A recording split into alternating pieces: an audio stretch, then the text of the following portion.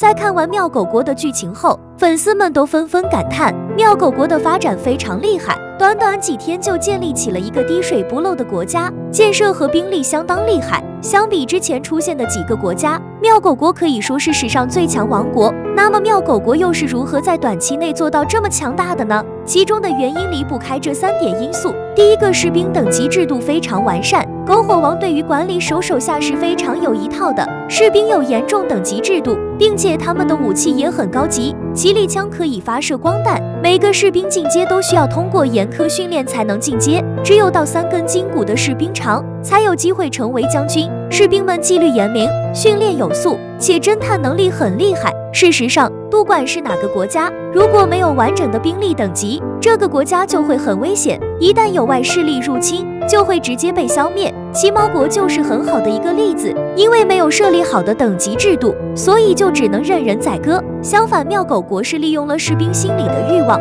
想要成为将军，就必须刻苦学习。只有让士兵充满斗志，国家才会强盛。第二个，狗国很会工业建设，很发达，在工业这块上。妙狗国的奇力石起到了很大的作用，并且还用奇力石制造出了不少的东西。妙狗国还设有奇力学校，培养了非常多人才，目的就是为了增强国家兵力。第三个，善于合作，拒绝锁国。都知道妙狗国不像其他国家会拒绝其他国家的帮助，他们非常善于合作以及和其他国家打交道，并不会像奇猫国那般闭关锁国，自给自足。妙狗国善于跟其他王国以及部落开拓经济市场，在科技上也要强于其他国家。总的来说，妙狗国的锅里。强于奇猫国十几个级别。妙狗国王大胆创新，加上丽将军保护妙狗国百姓的决心，这才让妙狗国国王一代比一代强。所以妙狗国会成为史上最强王国，也是有原因的。好了，这期视频就说到这里，喜欢的小伙伴